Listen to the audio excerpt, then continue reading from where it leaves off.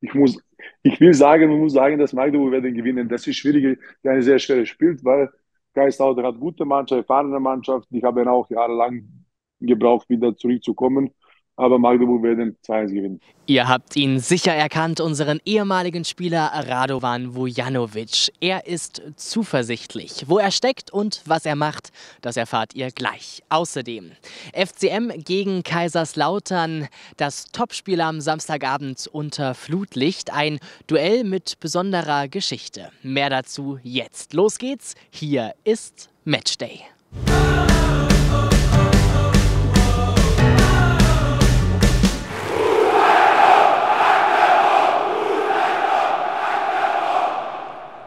Es gab eine Zeit, in der sie Meister ihres Landes waren. Der FCM, der schon dreimal Champion in der DDR war, wurde 1997 Oberligameister im Nordosten und spielte anschließend in der Regionalliga. Der erste FC Kaiserslautern war viermal deutscher Meister, zuletzt 1998. Damals eine wilde Zeit für beide Vereine. In einem damaligen Benefizspiel zwischen beiden lieferte der Ministerpräsident von Sachsen-Anhalt, Reinhard Höppner, den Spruch des Tages, als er zu Lauterns Meistertrainer Otto Rehagel sagte, hier hielt schon mal ein König Otto mit Gefolge Hofstaat. Der liegt seit Jahrhunderten im Magdeburger Dom. Wir haben jemanden getroffen, der am 23. Mai 1998 vor Ort dabei war und die Geschichte dazu erzählen kann. Thomas Riedel, Pavel Kuka vorne im Sturm, klar, Pavel Kuka, Marco Reich, genau, Harry Koch, Legende. Ja. Harry Koch, Legende, natürlich, Otto Riage, genau hier. Sforza Ratinho hier unten, genau. Sebastian Henke erinnert sich noch genau an die Betzenberg-Teufel und ihren märchenhaften Weg vom Aufsteiger zum deutschen Meister. In der Saison 97-98 war das. Der Otto Rehagel hat ja immer auf erfahren auf alte Spieler gestanden. Ne? Das war ja sein Steckenpferd. Äh, er hat ja einen alten Spruch gehabt, äh, nur die, die verheiratet sind, die wissen, äh, die toben nicht mehr draußen rum. Ballack als ganz junger, der, sage ich mal, seine Karriere in, in, ja, in der Bundesliga denn auch dort mit angefangen hat, mit eingeleitet hat. Und nun kamen König Otto, wie sie Meistertrainer Rehagel ehrfürchtig nannten, und seine Sensationschampions nach Magdeburg. Angekündigt durch Plakate, die Programmhefte waren gedruckt, für die damalige Zeit starke knapp 8000 Eintrittskarten verkauft.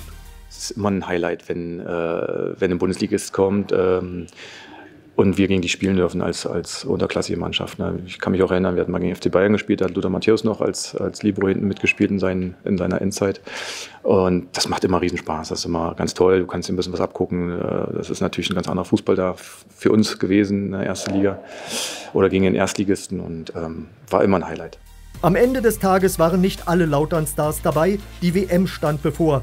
Und so entwickelte sich ein munteres Spiel, in dem der FCM sogar zweimal in Führung ging, durch Mario Lau zum 1 zu 0 und durch Sebastian Henke zum 2 zu 1.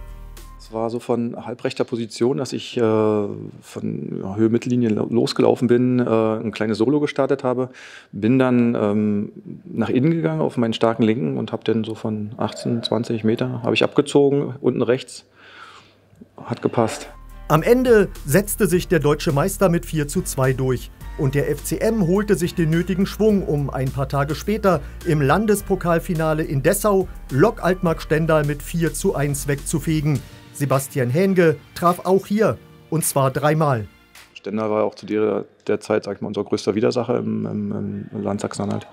Und ähm, ja, war ein super Abschluss für die Saison, die insgesamt gut gelaufen war. Der gebürtige Magdeburger erlebte in den 90er Jahren einiges als FCM-Spieler. Mein erstes Spiel war gegen, gegen Rot-Weiß äh, Prenzlau, glaube ich. Habe ich auch das 1-0-Siegtor geschossen, wenn ich das richtig in Erinnerung habe. Ähm, da war ich gerade 17, bin in 18 geworden in, in, in der Saison auch. Und äh, zur neuen Saison kam dann tatsächlich äh, Hans-Dieter Schmidt, Karl Hertle, der Umbruch begann, Ecki Meier, der sehr viel Engagement und auch finanzielle Mittel da reingesteckt hat, um den Verein nach oben zu pushen. Ähm, es kamen viele, viele neue Spieler, ähm, die uns äh, sehr vorangebracht haben. Der Club stieg auf von der Oberliga in die Regionalliga, durchgesetzt im Stadtduell mit Fortuna. Es ging immer heiß her, es war halt ein Lokalderby, es war ein heißes Derby, das Stadion war, war voll. Und ähm, ja, es ging halt um die Vorherrschaft in der Stadt. Ne? Aber das Geld reichte nicht, Prämien wurden nicht wie versprochen gezahlt, die Spieler ließen sich das nicht gefallen. Das Geld war immer knapp und äh, trotzdem die Spieler wollten und mussten natürlich bezahlt werden. Äh, die haben davon ja gelebt, äh, größtenteils. Und ähm, es gab natürlich äh, Phasen, da sind wir mal mehrere Monate nicht bezahlt worden und ähm, das war natürlich ähm, ja, eine schwierige Zeit für den Verein, absolut nachvollziehbar. Und da kam es tatsächlich dann in der Mannschaft denn dazu, dass wir uns entschieden hatten äh, und äh, Frank Lieberham als Kapitän war natürlich der, der da geführt hat, dass wir gesagt haben, äh, wir wollten mal ein Zeichen setzen und äh, gehen statt zum Training heute mal ins Kino. Mit den Finanzen wurde so jongliert, dass die Mannschaft von Jahr zu Jahr verstärkt und erfolgreicher werden konnte. Mit wem ich sehr viel Spaß hatte, war auf jeden Fall Bodo Schmidt, äh, der einst ja auch für Borussia Dortmund auch im Europapokal und in der Meisterschaft gespielt hat oder in der ersten Bundesliga. Ähm, er hat sehr viel Erfahrung natürlich in unsere Mannschaft reingebracht, hat hinten die Abwehr zusammengehalten. Und äh, im Bus haben wir auf Auswärtsfahrten sehr viele Karten gespielt. Also mit ihm war es sehr witzig, ähm, habe ich sehr genossen und habe auch viel gelernt. In der Saison 98-99 schnupperte der FCM am Regionalligameistertitel und Aufstieg in die zweite Liga, wurde Dritter. Sebastian Henke kann sich noch an das Duell und sein Siegtor gegen den VfB Leipzig erinnern. Es kam dann dazu, dass dann äh, Dirk Hannemann einen Freistoß von der linken Seite geschossen hat und ich konnte mich in der Mitte durchsetzen und habe dann das einzelne Siegtor geschossen, ja. Es gibt einiges, was geblieben ist aus jener Zeit. Die Spieler sangen im Garten von Präsident Meyer das Lied Heer, Heer, wir sind vom FCM ein, gemeinsam mit Rocksänger Nedi John Cross. Ich stand am Garten und ähm, haben da den Refrain, glaube ich, eingesungen. Ne? Und äh, ja, es war halt, was soll ich sagen? Schuster bleibt bei deinen Leisten. Ne? Fußball spielen konnten wir besser als singen, auf jeden Fall. Und es gab erste Überlegungen, wie aus dem Ernst-Grube-Stadion eine neue Arena werden könnte. Ein tschechischer Architekt bot seine Variante an. Das Ernst-Grube-Stadion war seit meiner Jugend, äh, die ich ja, sag ich mal, fast komplett beim FC Magdeburg äh, durchgelaufen bin, war das irgendwie meine Heimstätte. Ich kannte nichts anderes und von daher ähm, Stadionneubau, ja, man hörte sowas, aber es war alles noch in weiter Ferne. Sebastian Henke schaut auf Erinnerungen an seine FCM-Zeit. Dabei kamen die ganz verrückten Zeiten für ihn erst noch. Er war ein Jahr in Australien und fast weg vom Fußball. Da holte ihn Viertligist Jena, der sich neu aufgestellt hatte. Haben wir denn auch sofort gekrönt mit dem Aufstieg in die dritte Liga und haben eigentlich unseren Siegeszug dort sensationell fortgesetzt, haben es dann geschafft, gleich in die zweite Liga aufzusteigen. Dann bin ich nach ähm, nach Rostock gewechselt, da ging es dann in die erste Liga. Also für mich rückblickend, diese vier Jahre waren natürlich äh, ein D-Zug, ja, mit der Krönung auf die Erstliga Hansa Rostock und dann ein Jahr äh, die ersten Erstligastadien zu erleben und nicht nur auf der Tribüne, sondern auf dem Platz war natürlich traumhaft. Hat mir auch keiner zugetraut und ähm, war für mich dann sehr, sehr, sehr, sehr schöner Moment und oder Momente. Es war, war echt schön. Aber inzwischen kehrte er zum FCM zurück, mit nun 45 Jahren zur Traditionsmannschaft. Ist ein schönes Gefühl. Ich hatte jetzt eine lange Fußballreise. Ich war lange weg aus, aus, aus Magdeburg und Umgebung und ähm, jetzt ist es wieder ein Zurückkommen und ähm, mit Jürgen Brenniker haben wir da auch genau den richtigen Mann, der das Ganze alles sehr, sehr gut zusammenhält, alles organisiert und es macht riesen Spaß und ähm, ja, ich habe mich da letztes Jahr angeschlossen und bin gefragt worden und ja, warum nicht? Für die FCM-Oldies steht jetzt die Hallensaison mit großen Turnieren in Dresden, Cottbus, Brandenburg und Senftenberg an. Da setzen sie auf Sebastian Henke. Es sind ein paar Pokale zu verteidigen. Der aktuellen Profimannschaft drückt er die Daumen. FCM und Kaiserslautern sind längst nicht mehr so weit auseinander wie damals, am 23. Mai 1998. Tabellen 13. gegen Tabellen 11. Das ist das Spiel FCM gegen Kaiserslautern, wobei die Lauterer zwei Punkte mehr haben. Auch sollte unser Club weiter auf der Hut sein bei drei Punkten Vorsprung auf den Abstiegsrelegationsplatz. Achtmal standen sich FCM und Kaiserslautern in Punktspielen gegenüber, sechsmal in der dritten Liga, zweimal in der zweiten Bundesliga. Die Bilanz: drei Siege für den FCM, viermal Unentschieden und einmal Sieg Lautern. Das spektakulärste Spiel gab es am 28. August 2022 mit einem Ergebnis von 4 zu 4 auf dem Betzenberg. Die ganze Story könnt ihr in Ruhe nochmal nachschauen auf unserem YouTube-Kanal. Das letzte Punktspiel zwischen beiden gab es am 3. März 2023. Unsere Blau-Weißen gewannen mit 2 zu 0 durch Tore von Quarteng und Ito. Doch wie stehen die Aktien diesmal? Das sind die Stimmen aus dem Team. die Motivation war immer da. Jetzt hast du endlich wieder geschafft, äh, mal den Bock umzustoßen. Und äh, jetzt geht's halt darum, dass du das einfach bis Ende dieses Jahres oder der Hinrunde einfach nochmal bestätigst. Ne? Wir haben jetzt noch ein paar Spiele, wo wir nochmal richtig viel rausholen können, nochmal richtig Schwung mitnehmen können. Und ähm, darum geht's. Ja, der äh, FCK ist gut in die Saison gestartet, ist eine, ist eine Mannschaft, die, die sehr kompakt spielt, die, die auch gerade bei Überbrückungsspielen Zielspieler haben, die, die vor der Saison sich wirklich gut versteckt haben mit, mit mehreren schnellen Spielern, aber insgesamt eine, eine verbal und körperliche unangenehme Mannschaft, weil, weil sie da sehr, sehr stark im Spiel drin sind. Ihr wisst, jedes unserer Heimspiele in der zweiten Bundesliga steht in dieser Saison unter dem Namen eines Europacup-Helden von 1974. Das Spiel am Samstagabend gegen Kaiserslautern findet am Klaus-Decker-Spieltag statt. Hier im Stadion Rundgang gibt es eine Erinnerung an seine unfassbare Bilanz von damals. Einen, der immer auch ein Auge auf den aktuellen FCM wirft, haben wir vorhin mit seinem Tipp schon gehört. Radovan Vujanovic. 2008 bis 2010 war er der Ballermann der Blau-Weißen und sogar Kapitän. Und das ist seine Geschichte.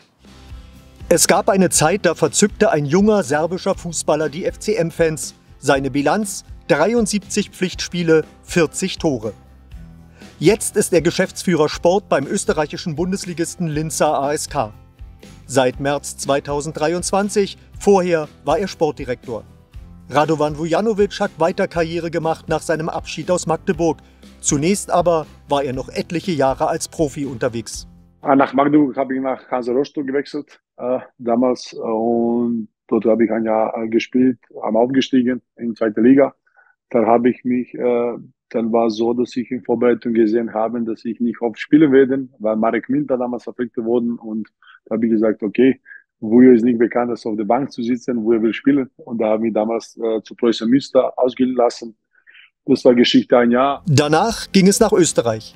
Er stürmte für den Linzer ASK, für Horn und für Öd. Er schoss sich mit Toren in die Herzen der Fans. Ich wollte nach Österreich zurück, weil hier habe ich viele Bekannte in der Nähe, trotzdem nicht weit von, von, von meiner Familie.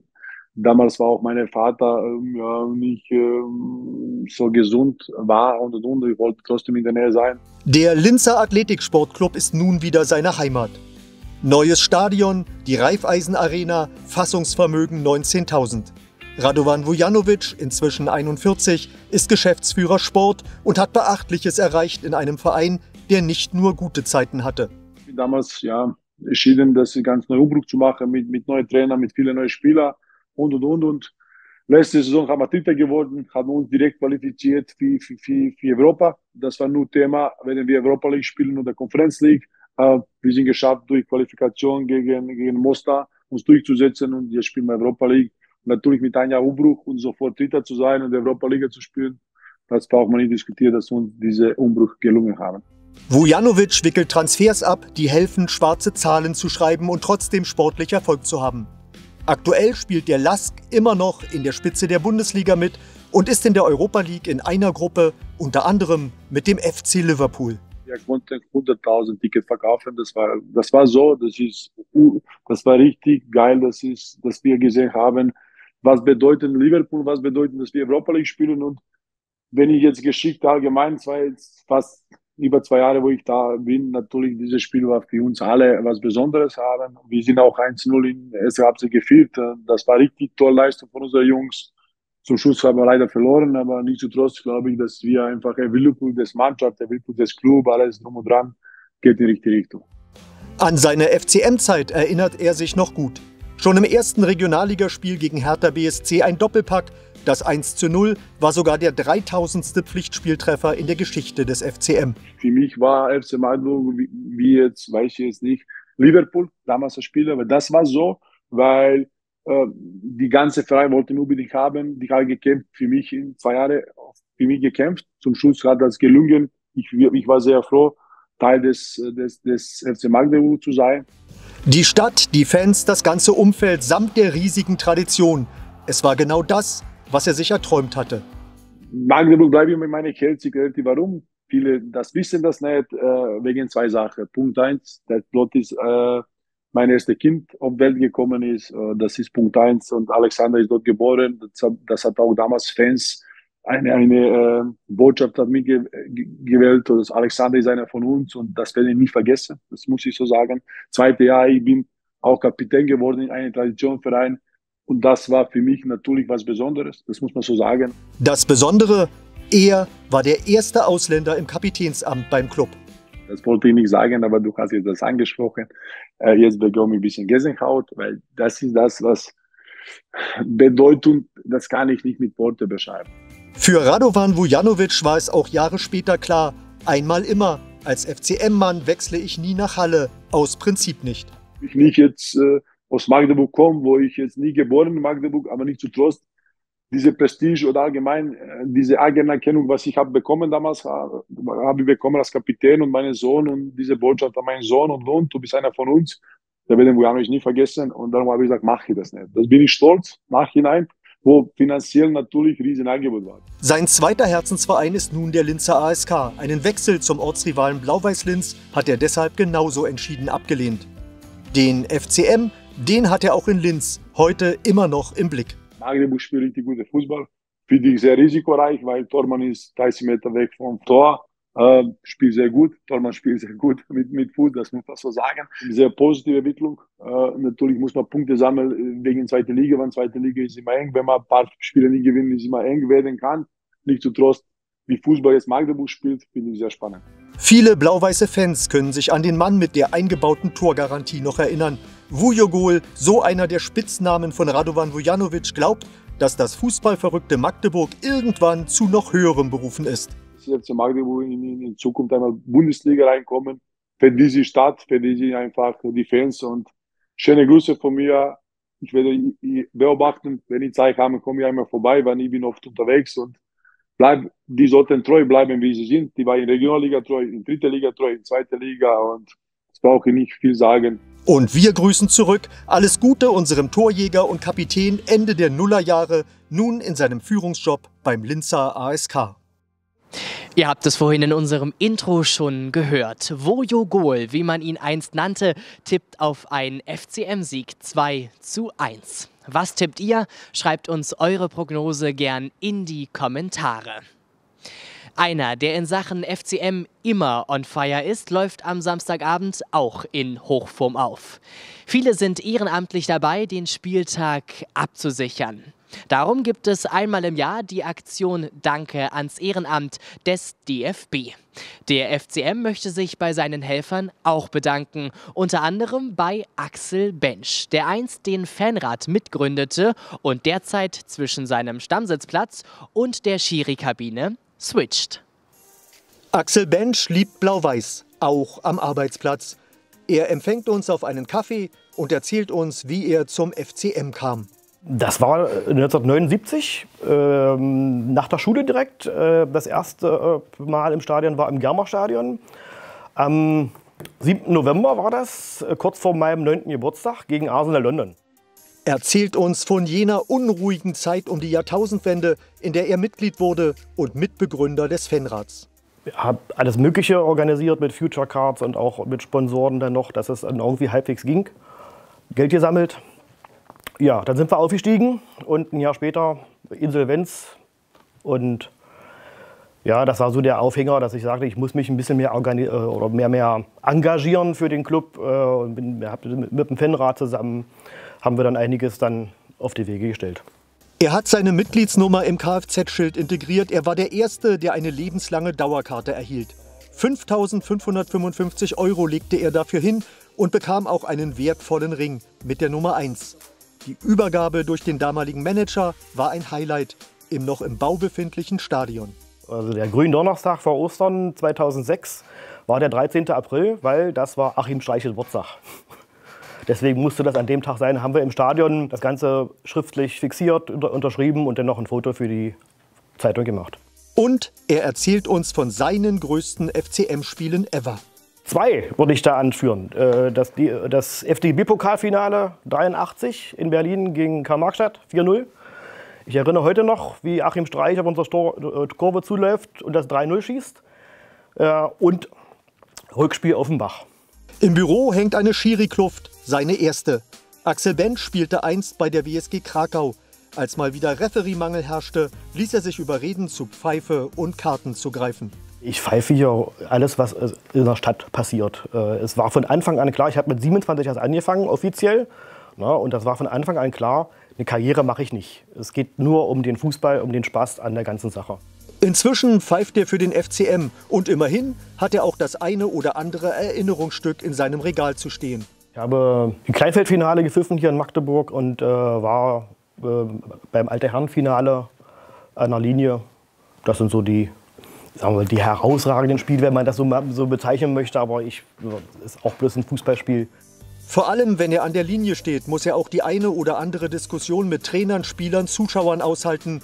Kein Problem für ihn ganz normal wie im täglichen Leben auch. Da gibt es auch mal einen, einen spaßigen Spruch zurück. Äh, wichtig ist, dass man sich nicht selbst zu ernst nimmt. Wenn man sich selber ein bisschen auf die Schippe nehmen kann, äh, hilft viel zur Entspannung bei.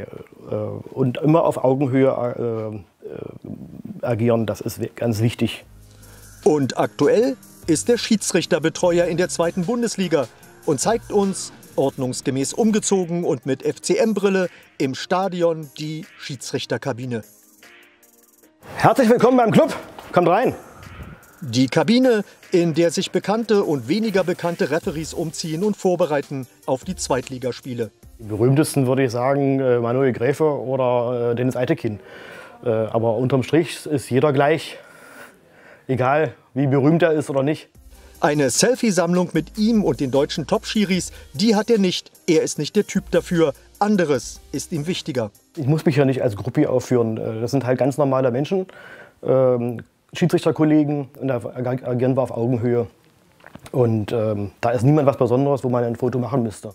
Es gibt ja auch genug zu tun. Wir sprechen das zwei Tage vor dem Spiel ab, wie, die, wie sie sich das vorstellen. Müssen sie vom Hotel abgeholt werden oder nicht? Und wenn ja, dann tue ich das auch noch oder bringen sie nach dem Spiel auch noch zum Bahnhof. Äh, dann muss es hier, äh, wenn was fehlt, muss das schnell organisiert werden. Ich richte die Kabine ein, dass das einigermaßen passt alles. Die sollen sich ruhig fühlen, die Jungs, äh, und ich fühle mich hier als Gastgeber. Es müssen ein paar Handtücher da liegen, äh, ein bisschen Obst, ein äh, bisschen was zum Knabbern, Kuchen, Kaffee ist wichtig, äh, ganzen Kaltgetränke, also das Alkoholfreie. Na, äh, und nach dem Spiel gibt es auch was Frisches, Saftes. Und auch um eine Einführung in die hiesige Kultur geht es ihm. Wie das bei, den, bei vielen so ist, die nicht von hier stammen, dann findet man in Magdeburg plötzlich sieben A's nach dem M und das möchte ich nicht. Die, Schiedsrichter kriegen von mir doch eine kleine Sprachlehre, wie das hier gesprochen wird. Egal ob Entscheidungen nach Kommunikation mit dem Kölner Keller oder ohne ihn getroffen werden, auch in der Schiri-Kabine wird einiges ausgewertet und Axel Bench mittendrin geht um Entscheidungen, die dann im, im Spiel fallen. Ne, jeder hat einen anderen Blickwinkel drauf. Ne? Also der ein, ein, auf dem Platz oder von der Tribüne ist halt ein anderer. Ne? Und dann tauschen wir uns aus. Wie hätte ich das gesehen? Oder ich habe auch Fragen manchmal. Ne? Wie kam es zu der Entscheidung? Nicht die, die Entscheidung an sich in Frage stellen, sondern eher, wie kam es zu dem Ganzen. In den meisten Fällen bin ich auch immer dabei, dass wir auch miteinander sprechen, weil wir verstehen, ich verstehe mich als Team. Ne? Das sind, sind halt Kollegen, Schiedsrichterkollegen von mir. Und alles, was wir hier erzählen, bleibt dann noch hier drin. Von seinem Stammplatz mit seinem Namensschild wäre er fast schon mal hier im Stadion selbst zum Schiri-Einsatz gekommen. Das ist aber schon lange her. Das war noch äh, unter äh, Herrn Petersen. Das letzte Spiel gegen Auerbach äh, hat sich der Schiedsrichter in, in, zum Gang in die Kabine in der Halbzeitpause verletzt, irgendwo am Fuß. Und da brauchte man also dringend Ersatz. Und da war ich auch schon halb umgezogen, aber dann kam noch jemand aus Quedlinburg, äh, der nicht vom Club ist. Und da war auch der Spielleiter sehr zufrieden, dass da keiner vom FCM unbedingt die Fahne hier schwingt. Wer die Geschichte von Axel Bench nochmal nachlesen möchte, kann das gern tun. In Spielmacher, erhältlich im Onlineshop von Compact Media und im Medienzentrum im Breiten Weg. Eure Unterstützung für die Blau-Weißen ist gefragt. Für Kartenpakete zum Behindertentag im Januar rund um das Spiel gegen Wien Wiesbaden. Statt sie wieder abzugeben, könnt ihr euer Mehrwegpfandbecher wieder in die Pfandsammeltonnen einwerfen. Dafür jetzt schon mal vielen Dank. Thomas Schäfer ist bei mir, Leiter Ticketing. Hallo Thomas. Hallo. Ähm, Thomas, es läuft gerade die Aktion mit der Halbjahresdauerkarte. Ähm, wie läuft sie denn? Wie, sie, wie, wie wird sie angenommen? Genau, also dieses Jahr haben, steht die Dauerkartenaktion unter dem Motto Nordticket, das Nordticket. Das heißt, wir verkaufen ähm, eine Rückrundendauerkarte ausschließlich auf den Stehplatztribünen. Ähm, Hintergrund dessen ist, ähm, dass wir da die maximale und die höchste Kapazität noch haben. Äh, in den Sitzplatzbereichen sind wir erfreulicherweise wirklich gut ausgelastet ähm, und wir wollen auch weiterhin attraktive Tageskartenpakete dann auch für unsere Fans zur Verfügung stellen. Darum haben wir uns auf die Nordtribüne konzentriert. Ähm, das heißt, wir schenken dem geneigten Fan ein Heimspiel. Äh, er muss muss nur acht zahlen äh, und kann dafür halt neun sehen. Ähm, die Karten gibt es auch schon ab 60 Euro äh, für die Kinder. Ja, und es ist eigentlich ganz gut angelaufen. Wir haben ähm, jetzt die ersten 300 Karten verkauft, ähm, hoffen noch auf ja, bis zu 300 weitere, weil dann haben wir unsere 15.000er Marke der Dauerkarten geknackt. Zum Ende des Jahres ist es ja auch immer gut, wenn man mal zurückblickt auf das vergangene Jahr. Und wenn wir das jetzt auch mal machen, ähm, wie hat sich denn das Zuschaueraufkommen bei uns beim FCM entwickelt? Wie gut lief es dieses Jahr? Ja, dieses Jahr ist natürlich äh, exorbitant gut, äh, das muss man sagen. Aber auch die, die vergangenen Jahre, also wenn man mal einen kleinen Rückblick macht, die letzten zwei, drei Jahre, ähm, die letzte Drittligasaison und dann halt auch der Aufstieg in die zweite Liga, äh, ist halt wirklich eine Entwicklung, die wir so, glaube ich, auch am Anfang nicht dran gedacht hätten ja, und auch nicht dran geglaubt hätten. Ähm, wir sind halt auch in der dritten Liga dann ähm, mit einem Schnitt von 16.500 ins Ziel gegangen, ähm, wohl wissend, dass das alles noch äh, unter Corona-Bedingungen gestartet ist äh, hier in Magdeburg, aber auch mit dem Highlight-Spiel damals gegen Zwickau äh, mit über 26.000, äh, damals die, die höchste Zuschauerkapazität, äh, seitdem die MDCC-Arena steht. Ähm, da haben wir uns sehr gefreut. Letzte Saison war für uns alle ein Highlight, in der zweiten Liga endlich wieder da zu sein. Ähm, da hatten wir auch ähm, mit dem HSV-Spiel zu Hause mit über 27.000 Fans hier ähm, die höchste Zuschauerkapazität. Und dieses Jahr hatten wir auch schon wieder die höchste Zuschauerkapazität in der MSC-Arena äh, mit dem Spiel gegen Eintracht Braunschweig. Da hatten wir über 28.300 Fans hier äh, im Stadion.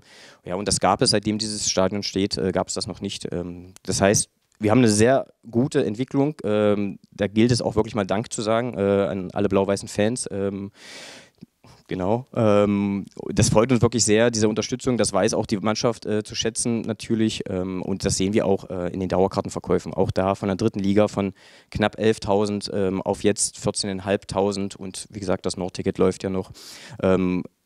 Ähm, perspektivisch und der Wunsch wäre natürlich schon, die 15.000 zu knacken. Ähm, und diese Entwicklung ist halt wirklich für uns überragend und ja, da kann man nicht oft genug Danke sagen.